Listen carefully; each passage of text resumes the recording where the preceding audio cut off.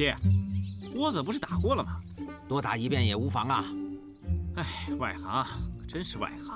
老子外行。哼，窝子打得重，鱼就来得多，鱼来得多，上钩就快，上钩快，皇上就高兴。你懂个屁呀！伺候皇上，我不如你；钓鱼，你可就不如我了。别在老子面前充大啊！我告诉你，今天刘伯温和李善长都陪皇帝来钓鱼，这叫君臣同乐。说话要注意，别给老子惹事儿，听见吗？知道了。哎，那个高启也来吗？他，他算个什么东西呀？狗肉上不了正席。皇上驾到！哈哈，今天咱们是君臣同乐啊，一切礼数全免了。哎，这位就是高才子吧？你是？啊，我是胡参事的儿子胡大鹏。哦，我们见过吗？没见过。不过你风流倜傥，高高在上，我想可能是没见过。哪里哪里，令尊大人开国有功，足智多谋，深得皇上宠爱。阁下乃是将门虎子，今后还请多多关照。啊，客气客气。啊，请。哎哎，这边请，这边请。傲杀人间万户侯，不如烟波垂钓叟啊！呃，众爱卿，今天垂钓，咱们来个君臣比赛如何呀？好，好，好。呃，这钓多的赏，钓少的罚。呃，敢问皇上，这赏怎么赏，罚又怎么罚呀？哎，钓完鱼，朕要宴请诸位，赏。赏酒一杯，罚呀，学狗叫三声。来，下钩。啊。啊，嘿，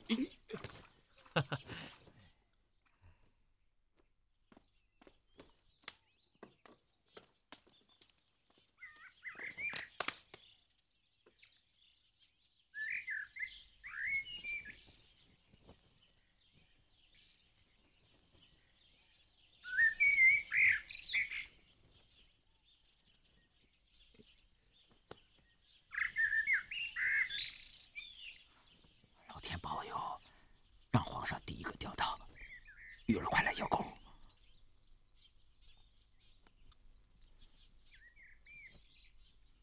嗯，快来咬钩，快来咬钩啊！鱼儿快来咬钩啊！咬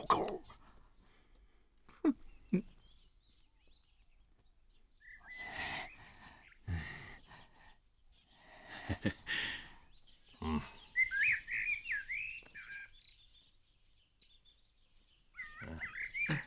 嘿嘿，哎，哎，哎，哎，头一条，头一条，老夫有酒喝了。别高兴得太早了，皇上说比谁钓得多，没说谁先钓上来。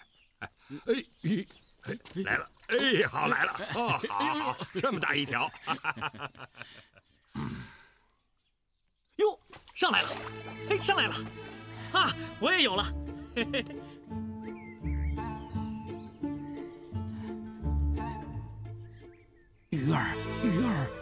老子。于祖宗，你就咬皇上的钩吧！啊，咬啊，咬啊，咬啊！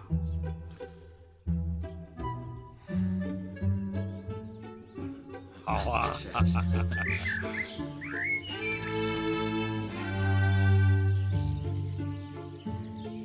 这什么鸟叫？把那鸟东西给我轰走！是。啊！我让你叫，飞呀！嘿，嘿！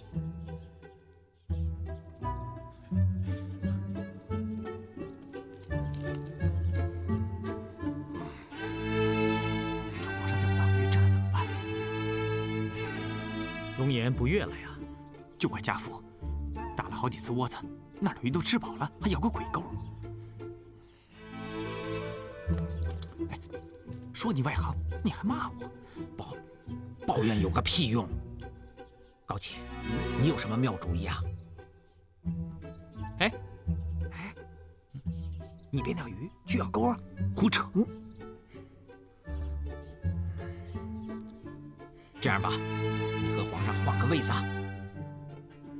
胡大人，什么意思啊？你已经犯了杀头之罪了。嗯。皇上坐的是什么位子？那是皇位。你叫他换位子，莫非有僭越之心？你不要血口喷人，我也是一急就乱了方寸。我对皇上可是忠心耿耿。胡大人不是马屁大王吗？也没招了。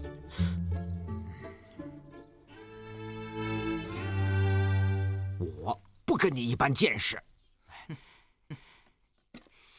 是要解皇上的燃眉之急，解你自己的燃眉之急。拍马屁，你也不是我的对手。胡大人要是不介意的话，可以跟在我的屁股后面学一学。你，臭小子，你等着！皇上还没开张啊？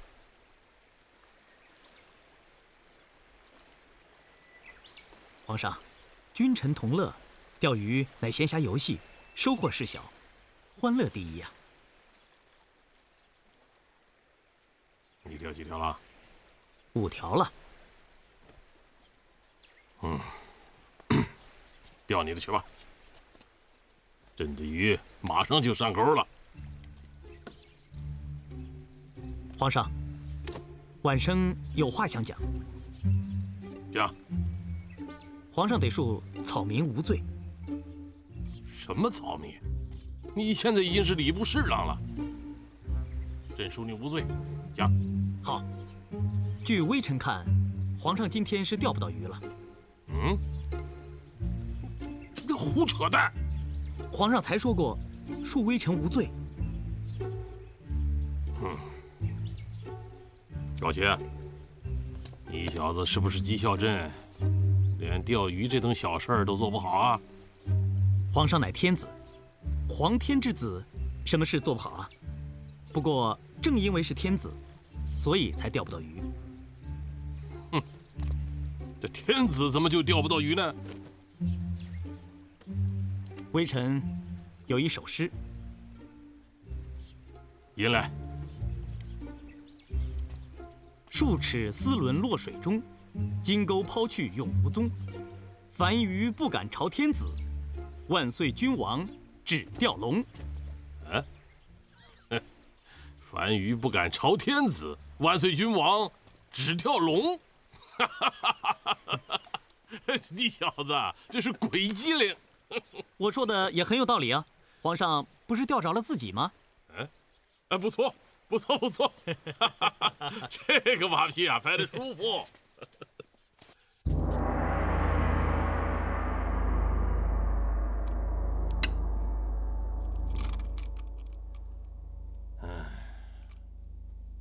天作棋盘，星作子，日月争光，好联。包揽乾坤，气吞寰宇，日月为名，只有我大明天子才有如此气度。行。雷为战鼓，电为旗，风云际会，大气磅礴。哎，皇上，你这个棋不行了。啊，吃吃饭，吃饭啊！对对对，啊，好，吃饭吃饭。哎哎哎，皇上，微臣可就要赢了呀！哎，民以食为天嘛。哎，吃饭吃饭。哎哎，那不行。皇上不能耍赖吧？民以食为天，可你不是民呐！哎呀，皇上也是人，饿了也得吃饭。那哎哎哎哎，刘老师，皇上他是金口玉言，说吃饭他就得吃饭嘛。这，哎呀，可惜这一盘好棋了。哎哎，皇上，哎，刘老师，刘老师，哎呦，我的棋呀，你看这这，哎呦，这。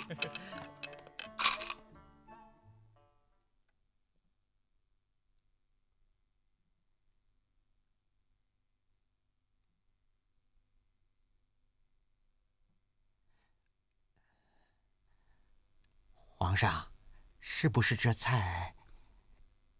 朕这次去汴梁，一路上看到的是百业凋敝，万户萧条。那是前朝做的孽，加之年年战争。是啊，如今江山一统，慢慢就会好起来的。先天下之忧而忧，后天下之乐而乐。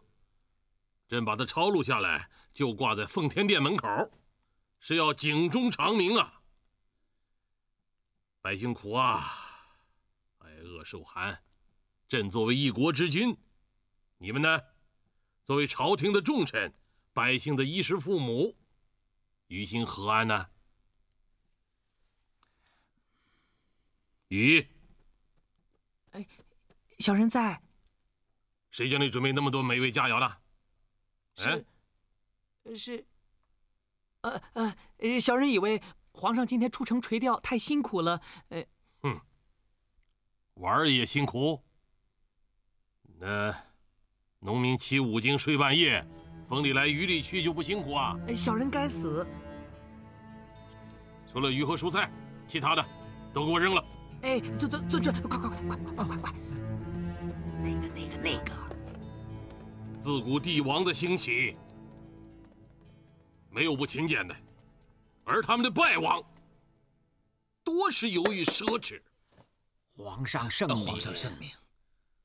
骄奢淫逸，贪图安乐，挥霍无度，岂有不败之理啊？皇上圣明。皇上这番话，字字金言，句句珠玑，记下来。就是一部新《论语》。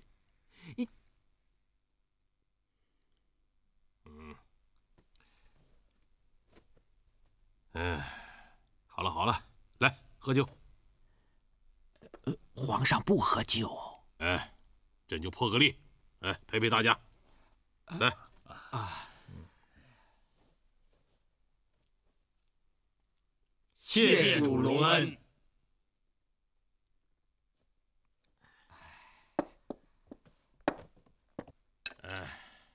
下筷，怎么还要让朕亲自给你们煎菜啊？这皇上不动筷子，谁敢动筷子啊？高杰，微臣在。朕亲自分鱼，看你能不能领会圣意。嗯，遵旨。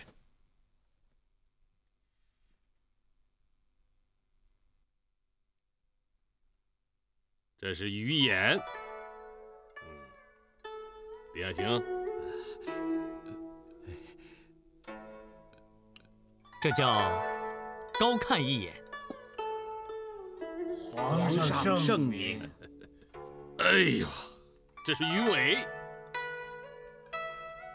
嗯，这叫委以重任。皇上圣明。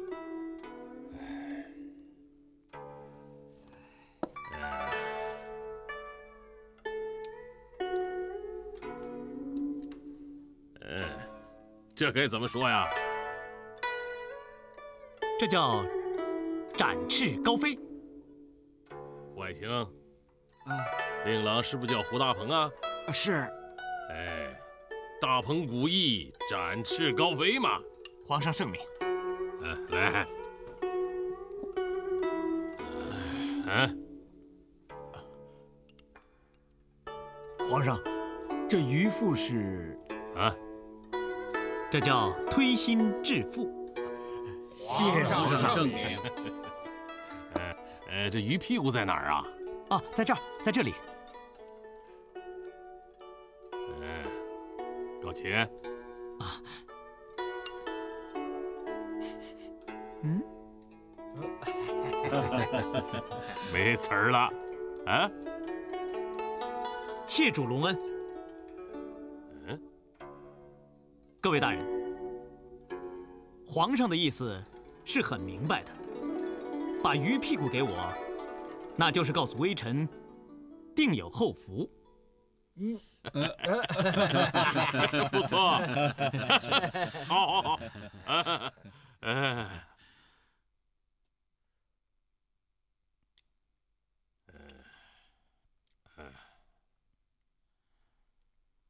这鱼唇放在这儿。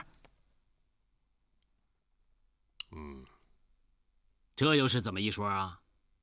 各位大人，皇上可是时时惦记着皇后娘娘，这叫唇齿相依。皇上道德礼仪天下无双啊！皇上真是万民师表啊！皇上恩泽四海，德比天高啊！皇后出去多久了？有半个月了。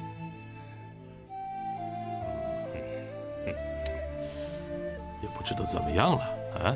呃，皇上放心，皇后娘娘一路的安全，微臣已经做了妥帖的安排。嗯。嗯，哎，哎，哎，刘老先生，啊，皇上，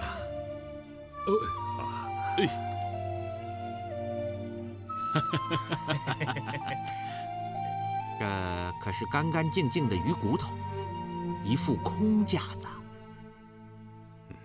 刘老师，刘大人，这可是最高奖赏啊！嗯，这话应该怎么讲？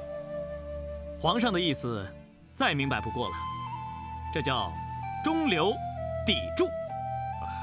皇上圣明，皇上圣明。皇上圣明。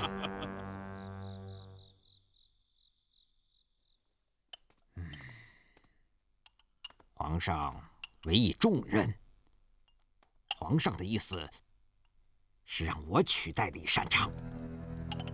有可能，但你的劲敌又多了一个。你是说那个高启这个小兔崽子不足为虑？哎，父亲诧异。高启虽然年轻，没有什么战功，官儿也是个虚职，但他的根基很深呢。他有什么根基啊？皇上十多年前就资助过他，将他视如己出，十分的喜欢。最主要的是，他奉承拍马的本事可不在你之下呀。哼，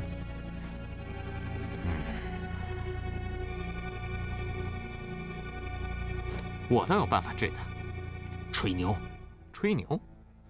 我是要叫皇上杀他。皇上听你的。高启犯下了弥天大罪，他搞了朱元璋的老婆。真有此事？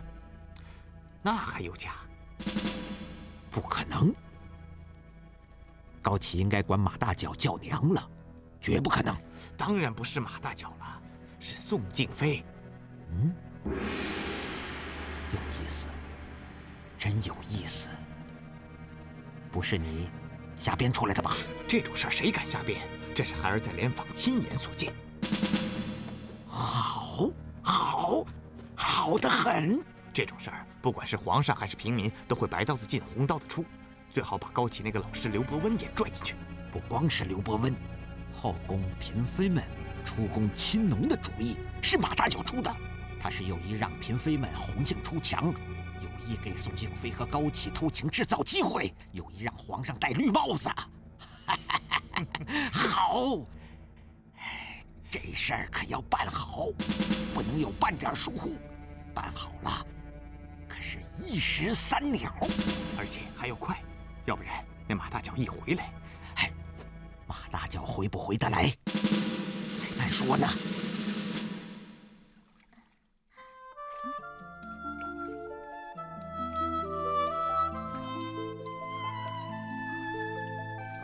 小越国官员不多，俸禄也很少，讲究自食其力。他们从国王至大臣，平时跟老百姓一个样。他们也讲究先天下之忧而忧，后天下之乐而乐。他们还学古代的越王勾践，卧薪尝胆。夏荷，你讲讲你家里那……哎呀，哎呀，去起来起来！春兰，没你什么事儿了，快洗洗脚睡觉吧。嗯，我不想洗了。懒鬼，你怎么这么懒呢？我太累了。再累呀，也得洗洗脚。这一天爬山越岭的，脚多重要啊！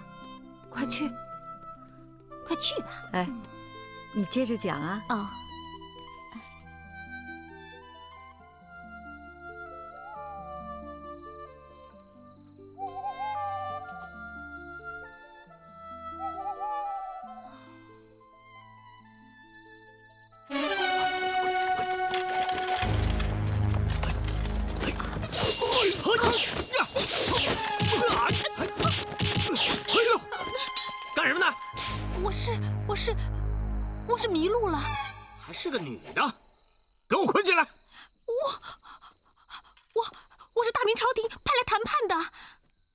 朱元璋手下的男人都死绝了，怎么派个丫头来呀？啊！大人，皇上说你们小越国不杀妇孺，所以叫我来。我看你是出来站岗的，破庙里都是什么人？说。就就我一个人。放屁！押着他走，走。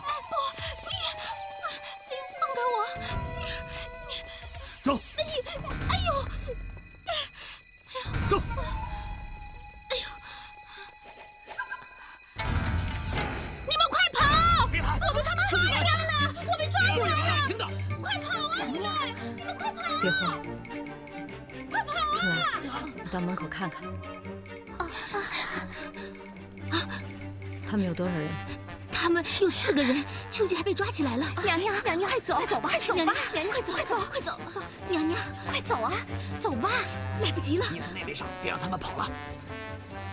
哎呀，不行，还有秋菊呢，我得去救她。娘娘，娘娘，别去，我去救她。娘娘，我们都是下人，让我们去吧。是啊，下人怎么了？下人也是人呐，你们都没我厉害。哎，娘娘，娘娘，大胆小毛贼！让你们尝尝老娘的厉害！好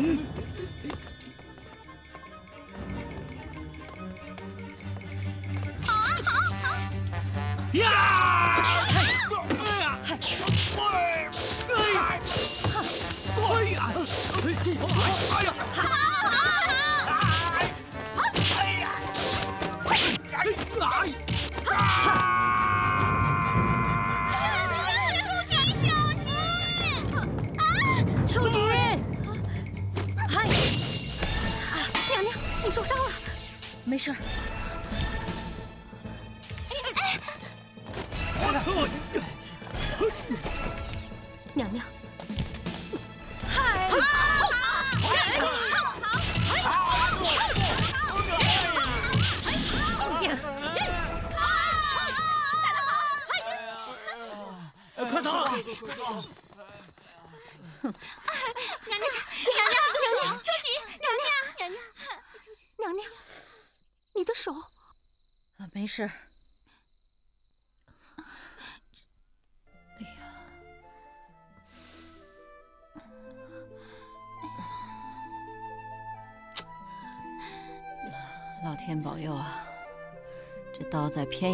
就麻烦了。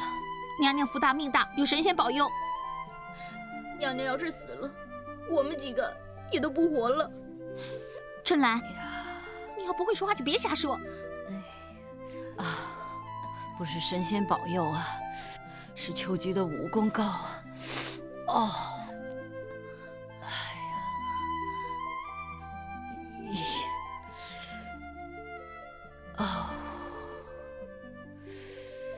娘娘要是真被害了，皇上一怒之下发兵来打，小越国就会尸骨成山，血流成河了。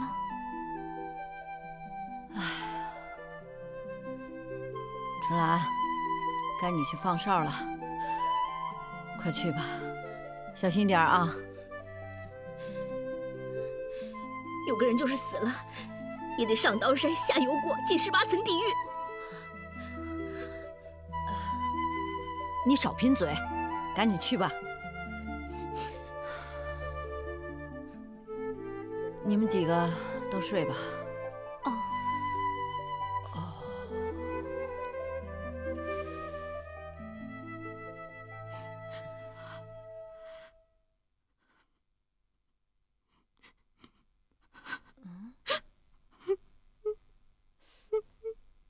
哎呀，秋菊，你怎么哭了？娘娘，娘娘，我有罪，我对不起你。你这说的什么话呀？今天要不是你，我们这几个人不都死了吗？我还要到皇上那儿给你请功，重赏你。娘娘，我真的有罪，我我隐瞒了我的身世。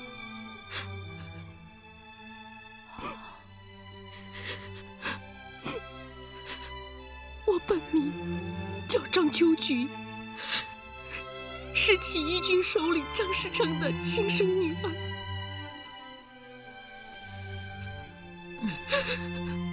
我父亲被皇上杀了以后，我就立志要杀两个人：刘伯温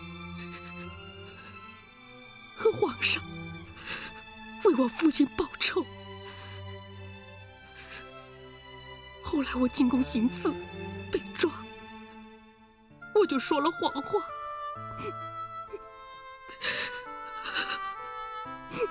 你不是有很多机会吗？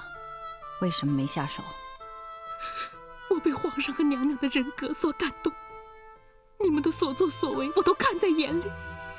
我觉得你们是真心想让老百姓过上太平的日子，你们是好人。娘娘，我真的下不了手啊！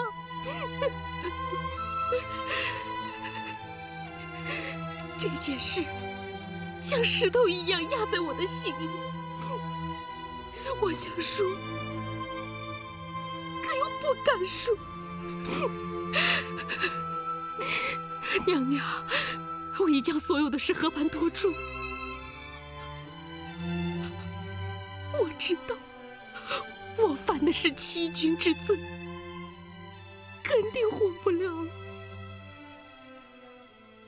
可可是我，可是我实在是舍不得离开娘娘。秋菊，小点声，别让他们听见。这下你把心里话说出来，这心里的疙瘩也没了吧？实话告诉你吧，我也不愿意离开你。但是今天这事儿，就让它烂在咱娘俩的肚子里吧，在皇上那儿，千万不要再提。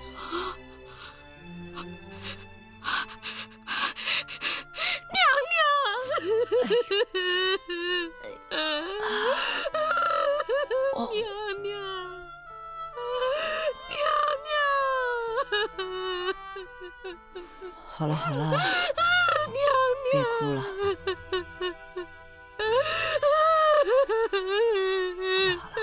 娘娘，再少点吧。不行，不行，不行。那好，都给你，都给你还不行？哎，谢谢。收了钱，好好的干活啊。哎，放心吧。去吧。嗯。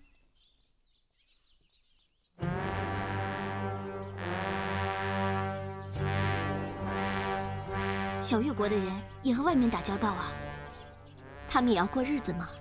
每个关卡每天都有一些人进出，嗯，做买卖的、走亲戚的、出远门的，无论进出都要有关防。哎，你出来的时候有关防吗？有。那现在还在吗？我当时一片痴情，发誓跟定戴山不再回去，所以我一出来就把它扔了。嗯，要是留着该多好啊！要是我的官房还在，也过期了。要是你那个堂哥夏宝成还在就好了。娘娘，哎，打听清楚了。嗯，这个关卡的把总父姓诸葛，名叫诸葛顺。那我的堂哥夏宝成呢？他升官了，升了千总，这个关口啊也归他管。哎呀，太好了。嗯。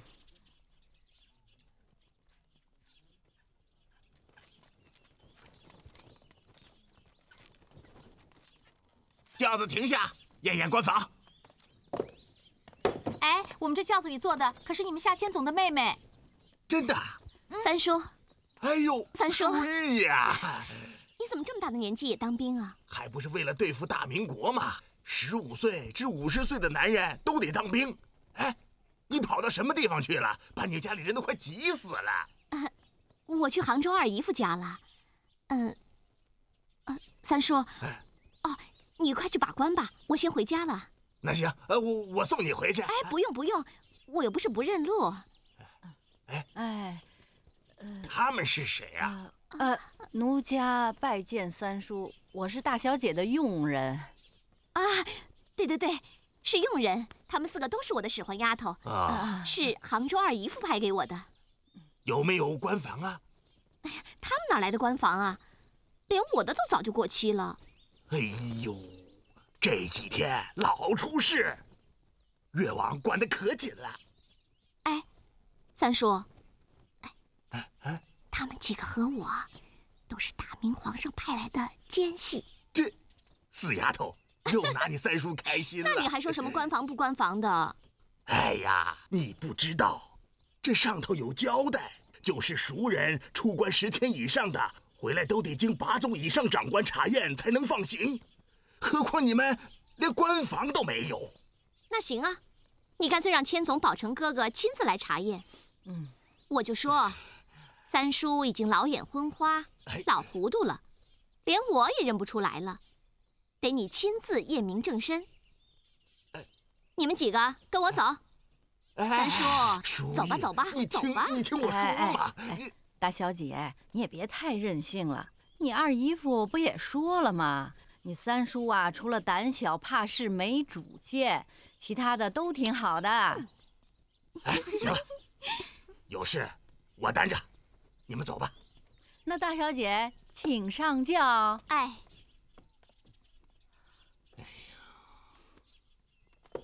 走吧，走吧，走走走。哎。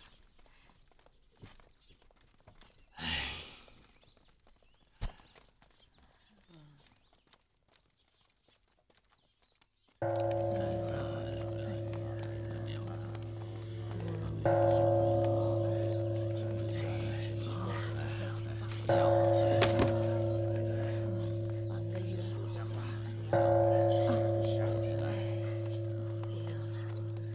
德师傅，夏小姐久违久违，夏小姐光临敝寺，有何见教啊？师傅，弟子是前来请你帮忙的。夏小姐，你有什么难处，请讲吧。不是我有难处，还想再要。我请师傅救救小月国，拯救小月国几十万生灵于水火。阿弥陀佛。皇后娘娘爱民如子，实在是小越国的万民之幸也。娘娘又有避风禅师的手谕，贫僧一定竭尽全力。愿效犬马之劳。云德师傅，依你所言，这儿的民众是不想打仗的。贫僧不敢有半句谎言，只要看看近来敝寺的香火繁盛，即是明证。师傅，能不能在今天夜里找几个可靠的人？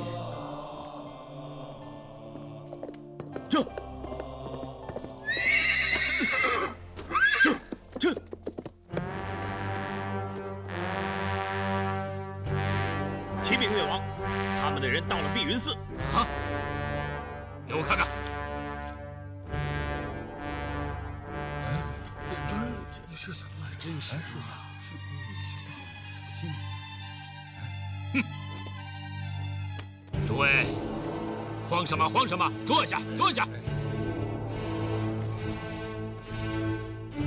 本王就是不明白，我越国四周有高山深河作为屏障。村村又有哨兵日夜巡逻，各个关口又有重兵把守，可可他们到底是怎么进来的呢？大明的怪人是很多呀，前几次他们的使臣都手持檄文，怀揣圣旨，公开教官，可见朱元璋已经下定了决心，并且做了周密的安排。他们来了几个人？都是些什么人呢？大王，我已派兵将碧云寺团团围住，我再去打听打听。不忙，干脆把那几个侉子杀了算了。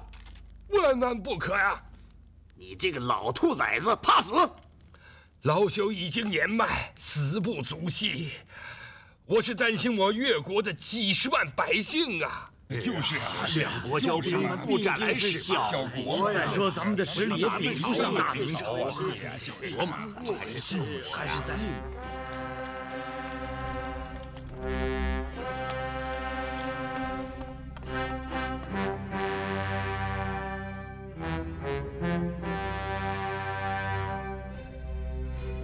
你们几个是朱元璋派来的？臣等是奉皇上的圣旨而来。哼就你们几个，难道又来送死？在我中华大地上行走，除了对付那些乱臣贼子，不得不用兵之外，何须兴师动众啊？哼，这是越国，不是你们大明。大明是中国，越国也是中国。当今天子奉天承运，天下一统，地不分远近，人不分吴越。朱元璋是亳州人，他做个吴王也就罢了，凭什么管我们越国的事情？这位兄弟，有道之君，天下共尊。我问你。你们那个越王郭和是哪里的人呢？是淮北宿州人。他一个宿州人，为当地的百姓做了一些好事，所以被称之为一地之王。朱元璋为国家做了好事，自然被称为一国之君。莫说这块离京不远的弹丸之地了，南边的福建、广东已经克服。北边的元顺帝已逃出了大都，大都已经改叫北平；西边的宁夏，东边的辽东，都已经被收复，云贵川归顺的日子指日可待了。哎，你们是怎么混进来的？这里的百姓接进来的。胡扯！这位兄弟，你不要急嘛。你看，我们几个都是文官，而你们却草木皆兵，森严壁垒，没有人接应，我们怎么进得来呢？谁接应的？我宰了他！不要动不动就宰谁杀谁的。我知道你们当地的百姓很齐心，很拥戴你们的越王，但那已经成为过去。你们在战乱年代精心营造。使他们偏安一隅，休养生息。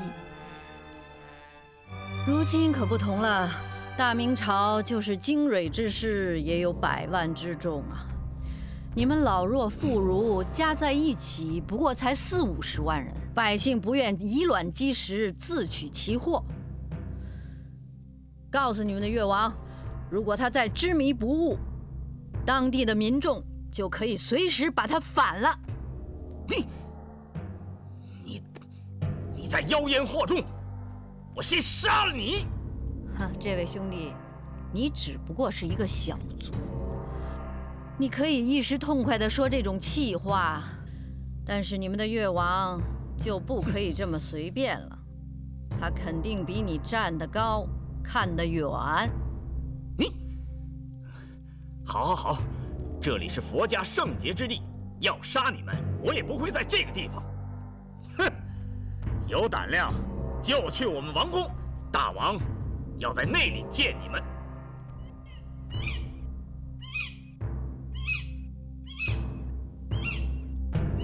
娘娘，小越国夜郎自大，一向蛮横惯了，你这一去，恐怕凶多吉少。娘娘不能去，一般人倒也罢了。皇后娘娘若是让几个生番给杀了怎么办？绝对不行！不行，来都来了，干嘛不去呀？咱们好不容易进来了，外面围了那么多兵，咱们想出都出不去呀！娘娘要想出去，有我呢。哎，有我就行了，我毕竟是这儿的人嘛。你们几个再变回女的，他们想也想不到。嘿，不行，我们要是不去王宫，小越国会把我们大明朝看扁了。要我说，夏荷，你带娘娘躲起来。我和春兰、冬梅去越王宫。哎哎哎，你们几个丫头啊，都是好意。可我马秀英也不是吃素的呀。这越王宫我是去定了。啊，娘娘。哟，娘娘，贫僧已按你的吩咐都安排好了，请你给确定个日子。那就明天吧。阿弥陀你看他们刚才杀气腾腾的样子，万一……大不了就是一个死呗。你看那个河边柳都知道赴汤蹈火。哎呦喂，我的娘娘她那是假装的。那我就来回真的呗。哎，我已经跟小越国的国王郭和和他的大臣交过手了。啊？什么时候啊？就是刚才啊。你们没有发现那个小越国的国王郭和吗？他打扮成一个小卒子，在队伍里一会儿戳戳这个，一会儿捅捅那个。我看他心是虚着呢。娘娘，我听说这个越王郭和，他其实并不想打仗，他也明知道自己不是大明朝的对手。我看事情坏就坏在那个狗童身上。哎，狗童？谁是狗童？就是刚才那个要把咱们杀了的那个人哦，此人姓苟名童，跟越王郭和还拜过把子呢，是前朝一支残部的头领。哎，听我堂哥说啊，此人生性残忍，连越王郭和都怕他几分。哎呀，夏荷姑娘，你可是立功了，找着毛病，这病就好治了。咱们要对症下药。对，秋菊，娘娘请吩咐。到了越王宫，看我的眼色行事。是。